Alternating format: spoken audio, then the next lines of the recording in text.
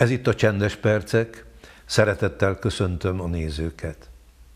Ezen a héten az Efézusi Levél 5. fejezetéből a 18. vers az alapigénk, amely így hangzik, teljesedjetek be Szentlélekkel. Az elmúlt napokban sorra vettük, hogyha megtelünk Szentlélekkel, akkor az milyen csodálatos áldásokat tud felfakasztani az életünkben megbátorodunk, hirdetjük az Isten igéjét, bizonyságot teszünk, Isten bölcsessége árad ki az életünkből, Isten gyógyító ereje jár át bennünket. A mai napon arról szeretnék beszélni, hogy amikor megtelünk szentélekkel, akkor az Isten öröme jön a szívünkbe, és fakad föl az életünkből. Azt olvassuk, hogy a Pizidéai Antiókiában, amikor Pál és Barnabás elmentek a gyülekezetből, akkor a tanítványok nem szomorkodni kezdtek, keserűen panaszkodni, hogy elmentek a jó vezetők, és most mi lesz velünk, hanem a Biblia azt mondja, a tanítványok azonban megteltek örömmel és szentlélekkel. Abcsel 13.52. Ez egy különös dolog, sokszor szoktunk viccelődni is azzal, hogyha egy-egy gyülekezetből elmegy egy vezető, hogy akkor nem biztos, hogy a szomorúságnak kell jönni, hanem akkor lehet még betelni szentlélekkel és betelni örömmel. No, én hiszem, hogy az a jó, amikor a vezetőkkel együtt tudunk megtelni lélekkel, és tudunk betelni az Istennek az örömével. Ez egy nagyon fontos dolog.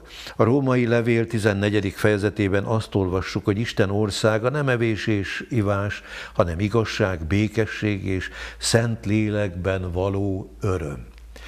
És ha valami, akkor ez a mai időkben nagyon fontos, hogy fölfakadjon a hívők, a keresztény emberek életéből.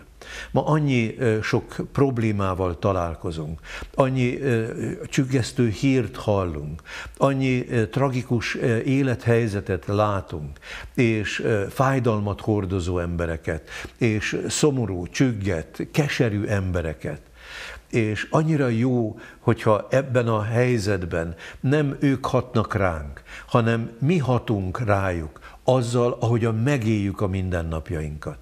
És hogyha így éljük meg a mindennapjainkat, hogy is engedünk Isten lelkének, hogy jöjjön és áradjon, akkor az Isten lelke valóban betölt bennünket, és amikor a lélek betölt, akkor az Isten öröme is betölt, és átjár bennünket.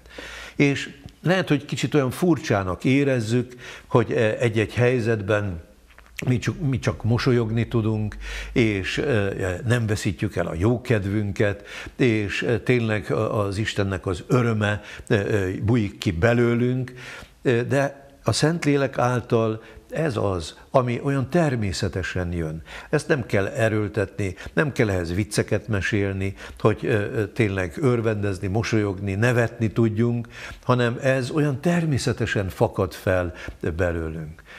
Isten igéje azt mondja, hogy a, az öröm az szinte gyógyítólag, orvosságként hat. És látom azt, hogy sokszor egy-egy hívőnél egy egész gyógyszertárat helyezett el Isten, ahogyan fölfakad belőlük az öröm, és a gyógyító öröm, mert én hiszem, hogy egy-egy élethelyzetben, nehéz vitás helyzetben, konfliktusokban is, de amikor tud ez a, az isteni rész megjelenni, akkor ez tud feloldani feszültségeket, ez tud feloldani úgy egymásnak feszülő embereket, hogy tudjanak tényleg tovább menni, megbékélni, és ne akadjanak meg egy-egy konfliktusban. Úgyhogy a mai napon ezt kívánom minden mindenkinek, hogy kért, hogy Isten lelke a mai napon is jöjjön, töltsön be téged, és amikor jön a Szentlélek, akkor kért, hogy jöjjön az Istennek az öröme is, hogy tudj felszabadulni arra a kedves mosolyra, arra a kedves derűre, ami a Szentlélek által árad belőled. Kívánom, hogy ez a mai nap is így az örömnek a napja legyen a te számodra is, ahogyan jön a Szentlélek. Isten áldjon!